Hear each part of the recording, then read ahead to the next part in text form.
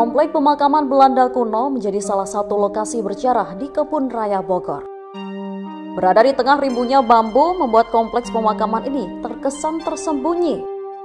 Kabarnya, komplek pemakaman ini telah ada di Kebun Raya Bogor jauh sebelum Kaspar Georg Karl Reinwald, pendiri sekaligus pemimpin pertama Kebun Raya Bogor pada tahun 1817 meresmikan pembukaan Kebun Raya Bogor.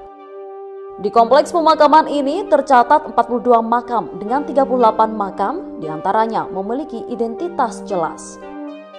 Dari informasi yang Tribun Bogor dapat, pemakaman Belanda di Kebun Raya Bogor merupakan makam-makam orang penting. Misalnya saja DJ De Erens yang merupakan seorang gubernur jenderal yang menjabat tahun 1836 hingga tahun 1840.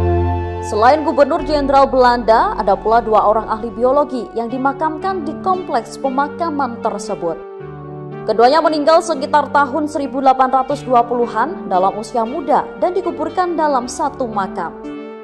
Mereka adalah Henry Colt dan J.J. van Hassel, yaitu sebagai anggota The Netherlands Commission for Natural Sciences yang dikirim ke Indonesia untuk bekerja di kebun raya Bogor.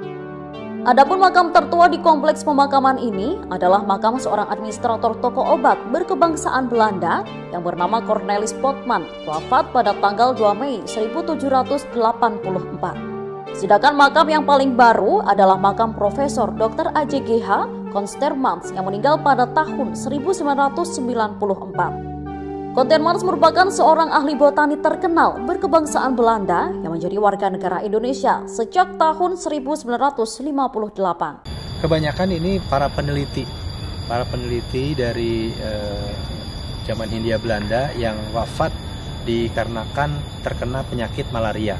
Karena pada saat itu wabah malaria cukup eh, tinggi sehingga Eh, di sini kebanyakan para peneliti-peneliti Hindia Belanda yang meninggal karena uh, terkena penyakit malaria.